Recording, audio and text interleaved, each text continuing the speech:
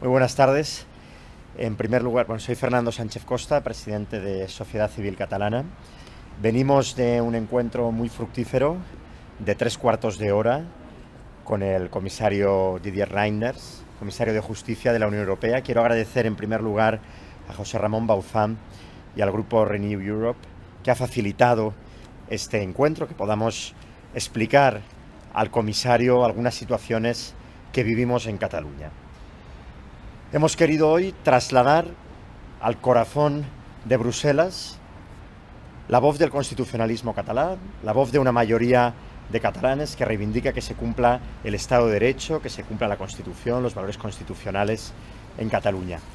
En concreto, hemos hablado con el comisario Reinders y le hemos expuesto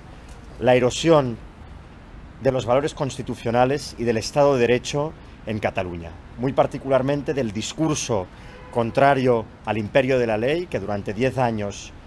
ha desarrollado el gobierno catalán y en particular del acoso a los jueces que durante los últimos años hemos vivido en Cataluña y que está provocando una desertificación judicial en Cataluña. Hay muchos más jueces que se van de los que llegan. Esto ha preocupado evidentemente al comisario, que pondrá también la lupa sobre ello y que nos ha pedido más información para saber exactamente qué está sucediendo.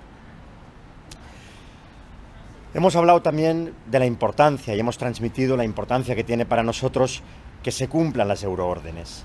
para que Europa siga siendo un espacio judicial integrado y único es imprescindible que se cumplan las euroórdenes, que haya reciprocidad, porque si no va a colapsar el sistema judicial europeo y así se lo hemos transmitido con mucha claridad.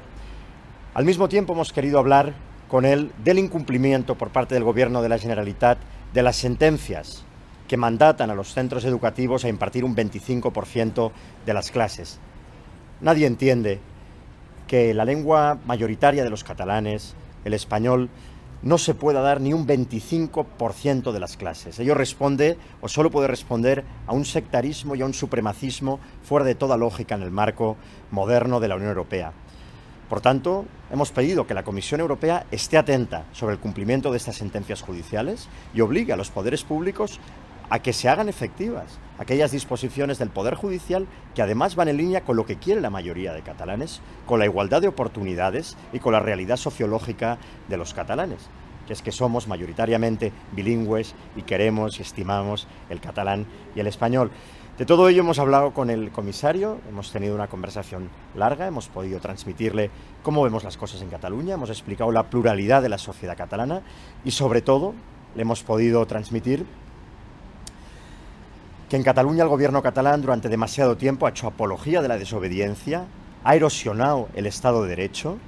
y por tanto la Comisión Europea tiene que posicionarse con firmeza, como hace con Polonia, como hace con Hungría, cuando ven que el Estado de Derecho y el imperio de la ley es discutido. Esto ha pasado en Cataluña y pedimos y exigimos a la Comisión que también se posicione.